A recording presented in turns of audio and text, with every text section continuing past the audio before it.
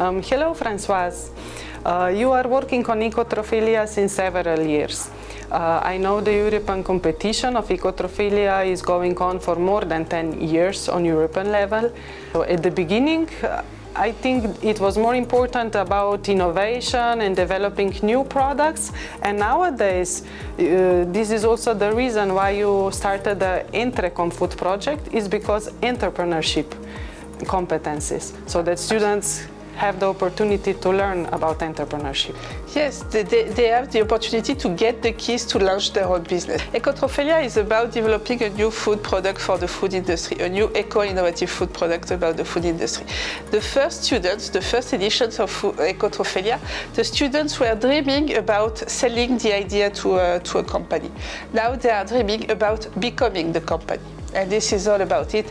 But they need to be, because these students usually are food engineers. They know how to make food products. Uh, but the business is global. You also have to get this uh, entrepreneurship fiber. If you have it in you, it's good. But we have also learned, and EntreCompFood uh, taught us that entrepreneurship is also a methodology. And uh, this is what we are trying to give them, this methodology uh, via EntreCompFood.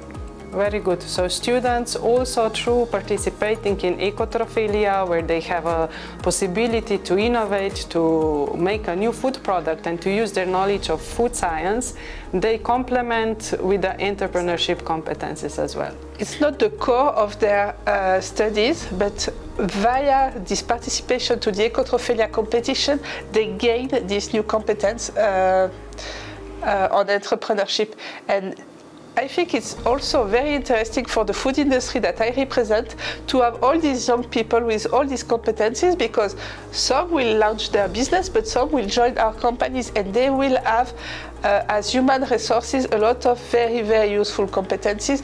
They will be more complete. Thank you. Thank you.